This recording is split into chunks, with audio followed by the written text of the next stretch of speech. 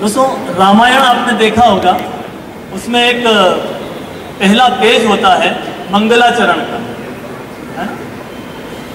जिसके आचरण मंगल होते, उसकी उस पर पूजा की जाती है। और मैंने करीब 20 साल 18 साल से मैं देख रहा हूँ एक ऐसी हस्ती को। वो जहाँ चरण रखते हैं, वहाँ मंगल ही मंगल हो जाता है, और वो है हमारे इसके धर्म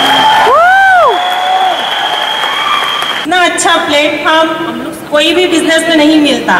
काम तो हर जगह करते हैं, पैसे हर जगह कमाते हैं, लेकिन यहाँ पर जो इन्वायरमेंट मिलता है, वो कहीं नहीं। थैंक यू दोस्तों, नाम महेश शर्मा है और ट्रेडिशनल बिज़नेस काफ़ी अच्छे थे। पहले इलेक्ट्रॉनिक्स के दो शोरूम थे, एक हाई स्कूल था फैक्ट्री थी, कुछ और बिज़नेस थे।